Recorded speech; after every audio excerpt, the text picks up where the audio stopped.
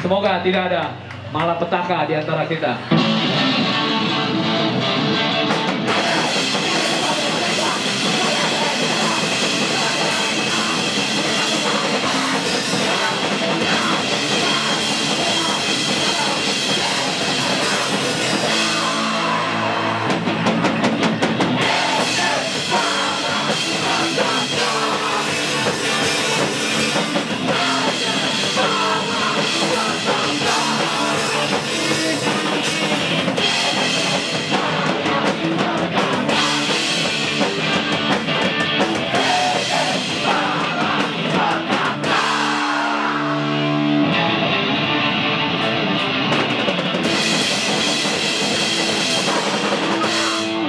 it.